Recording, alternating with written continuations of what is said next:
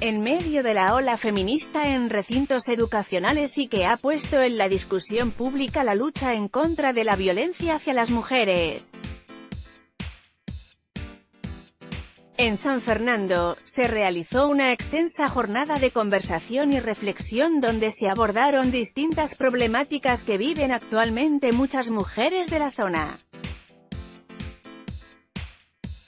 En esta actividad participaron 45 mujeres que libremente comentaron sus problemáticas, miedos y objetivos.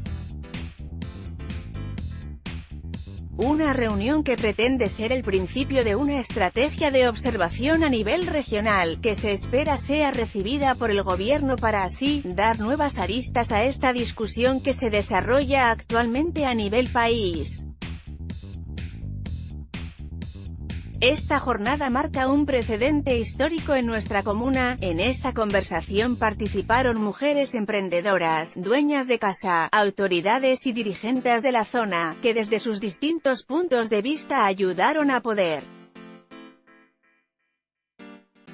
Conocer realidades y visiones desde la perspectiva de quienes son las protagonistas, fue parte de lo que comentó el organizador y concejal de la zona, Alejandro Riquelme Calvo a la salida de esta reunión.